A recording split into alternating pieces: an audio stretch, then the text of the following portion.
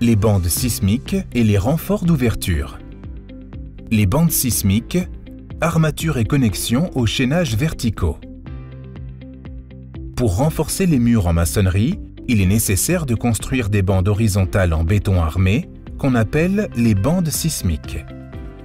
Les bandes sismiques doivent être construites de la manière suivante. Avec deux barres de 10 mm de diamètre, avec des étriers de 6 mm de diamètre, écartés de 15 cm, la hauteur de la bande sismique ne doit pas dépasser 10 cm, en utilisant des séparateurs placés de chaque côté de l'armature. Pour connecter la bande sismique aux chaînages verticaux, ces deux barres d'armature doivent recouvrir d'au moins 30 cm celle du chaînage vertical. Une longueur de recouvrement inférieure ne garantit pas la stabilité de la structure.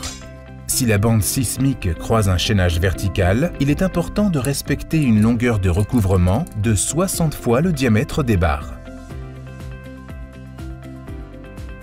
Les renforts d'ouverture. Toutes les ouvertures, comme les fenêtres et les portes, doivent être renforcées sur leurs quatre côtés avec des renforts verticaux et horizontaux. Les renforts doivent être construits de la manière suivante. Avec deux barres de 10 mm de diamètre, avec des étriers de 6 mm de diamètre écartés de 15 cm,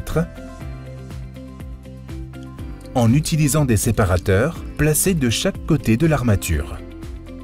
Chaque renfort vertical doit être connecté aux bandes sismiques ou au chaînage horizontal supérieur en respectant une longueur de recouvrement d'au moins 30 cm.